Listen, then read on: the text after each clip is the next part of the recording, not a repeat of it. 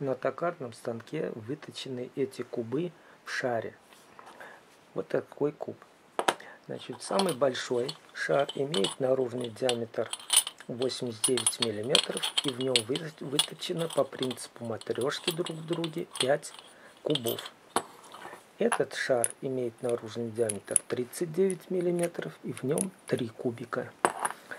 Этот такой же шар с тремя кубами внутри, но шар разрезан и кубики извлечены.